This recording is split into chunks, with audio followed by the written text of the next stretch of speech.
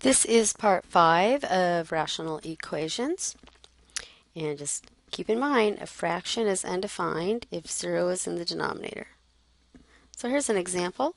5 over 2x minus 2x equals 1 half. This is an equation. We're trying to solve for x. And there are fractions. So first of all, we know that Whatever's in the denominator cannot be 0. So in the first denominator we have 2 times x. So there are two factors. A 2, that's not 0, but we also have to make sure that x can't be 0. So keep that in mind. And in the second denominator we have x as a factor, and we've already written that that cannot be 0. And the third fraction has a 2, which is not 0. So keep in mind x cannot e equal 0 for this particular problem. Now, we can solve this equation a few different ways. One way is by clearing through the denominators by multiplying all of the terms on both sides by the least common denominator. So if we look at what the least common denominator is, in the denominator, there's only two kinds of factors, 2 and x, so it's 2x. So let's multiply each of those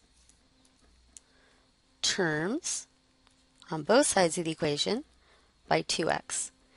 Now, the reason you could do that is that's the multiplication property of equalities. You could multiply both sides of the equation by the same non-zero number and preserve the solution. So we have 2x times 1 half on the right. So I'm multiplying both sides of the equation by 2x and that's the way to clear denominators because we'll be able to cancel some things. So we have 5 minus, now the x's cancel here, so 2 times 2 is 4. And then the third one, the 2's cancel, so I just get x. So I have 5 minus 4 is x. This is going to be an easy one. x is equal to 1. All right, now we do need to check it. We have to check that x equals 1 is really a solution, so let's check by plugging in 1 in for x into the original equation. You don't want to do it after you've already cleared the denominators. Okay, so we're just going to put in 1 for x on both sides. All right, see with me?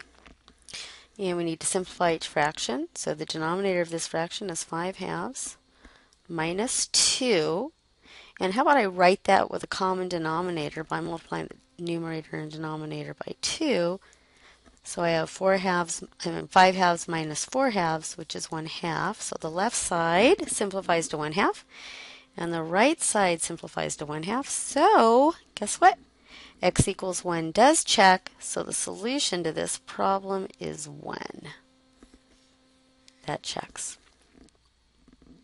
All right, so we've done lots of different problems. And what I want to do now is caution you a little bit. When you are solving equations, you can clear through the denominators. If you're just adding or subtracting fractions, you can't do that. So we were solving this equation 5 over 2x minus 2 over x equals 1 half. Now, what if the problem instead was just 5 over 2x minus 2 over x, and the directions were simply to simplify. So if we had 5 over 2x minus, got to remember what we were just looking at, 2 over x, and it says simplify, there's no equation. You cannot get rid of the denominator.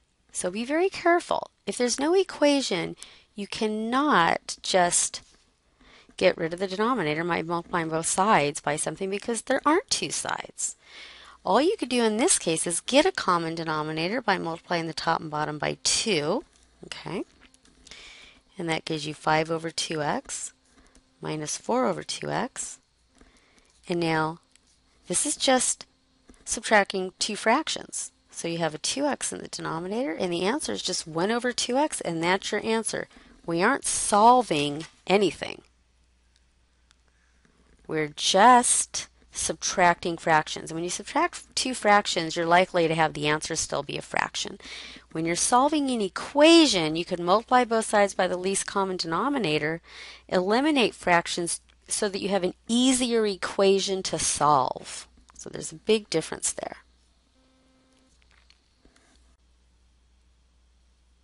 All right, notice these problems have some similarities. They both contain the same two fractions, but the first one is an equation where you would be solving for x, and the second one is just simply an addition problem.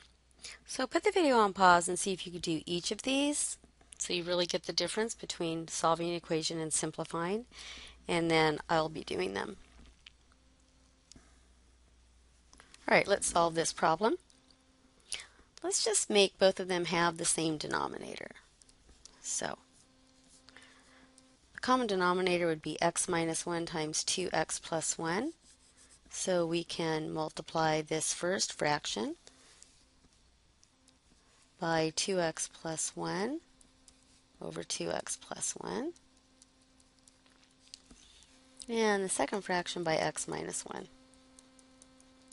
So since they it's an equation and both the denominators are the same, the numerators will be equal. So I'm going to do the distributive property. 2 times 2x plus 1 is 4x plus 2. And on the right we'll have 6x minus 6.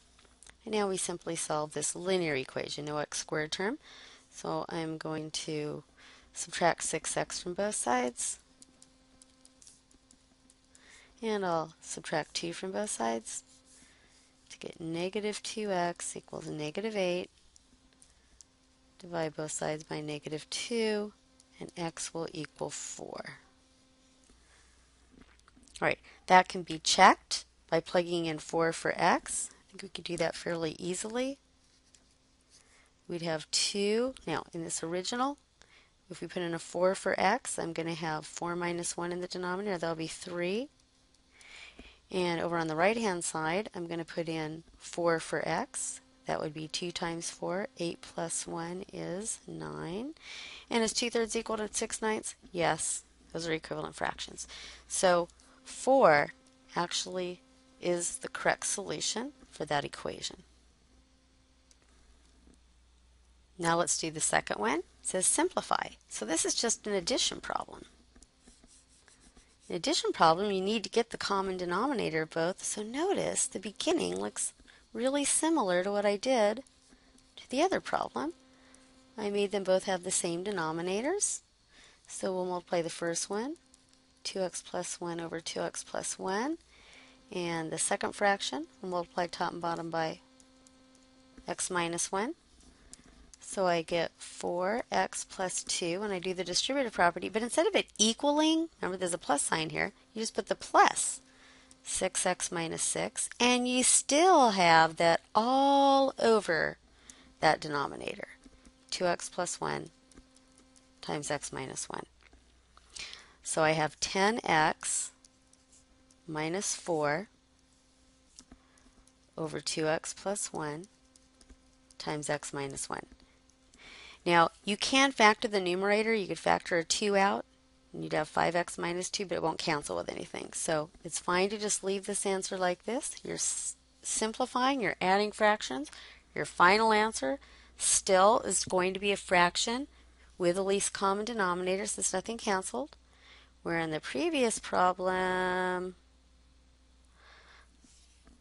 I was able to eliminate the fractions because it was an equation just to make the problem easier to solve. And in the end, I'm looking for a value for x. So be careful. There's a big difference between simplifying and solving.